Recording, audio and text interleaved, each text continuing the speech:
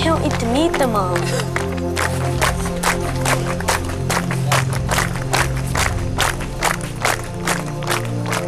This is your well? You read it. Ryan's Well, yeah. funded by Ryan H. Yeah. For, For the community from of Angolo. Angolo Primary School. Yeah.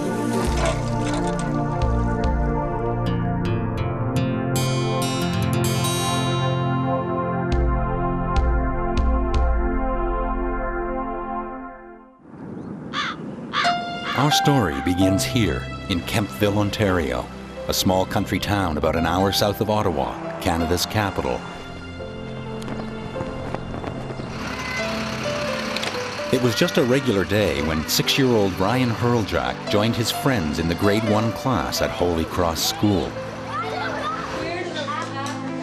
Nancy Prest was in her first year of teaching and wanted to inspire her young students about their place in the world and maybe plant the seeds of sharing and caring. It was during Lent, and we were, uh, all the grade ones were saving pennies for the uh, Lenten missions, and I had a sheet of paper from the vice principal that said how much money you could save for what would give the children in Africa. And Brian was really interested in the well. He was interested in the water and that people didn't have water. So he said, How much was that well again? On the sheet it said $70. He says, I'm going to save for that. And she explained that people were dying because they didn't have clean water. And that just gave me a bad feeling inside. Because if you, I just closed my eyes and opened them again, in that classroom I would see more than 75 or even 100 things they didn't have.